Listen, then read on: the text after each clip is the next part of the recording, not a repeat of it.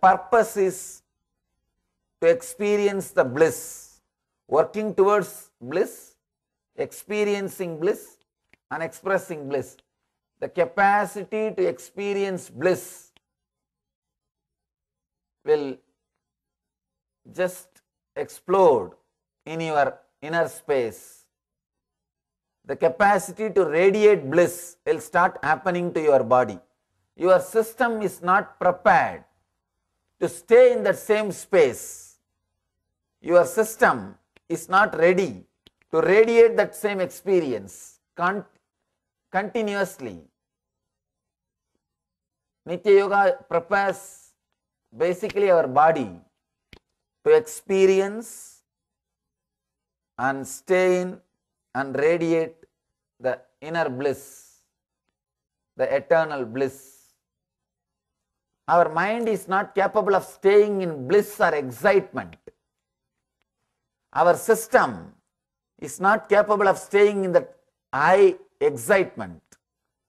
We have neither trained nor it is capable. Through Nitya Yoga, I am trying to train.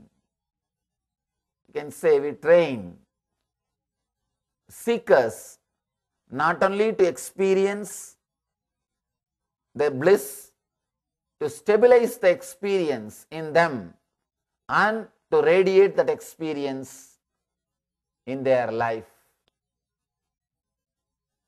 The purpose of Nitya Yoga is to help people to unclutch and experience the eternal bliss. The physical healing may be a side effect. Let it be very clear yoga cannot be reduced to a physical exercise, and meditation cannot be reduced just to a technique to give you little peace. No. It has got deeper and sacred meaning. Yoga is for much more than physical health. Physical health is one side effect happening through yoga. Same way, meditation is not just for mental well-being. Mental well-being is a one side effect happening by meditation. So the yoga or meditation cannot be reduced just for physical or mental health.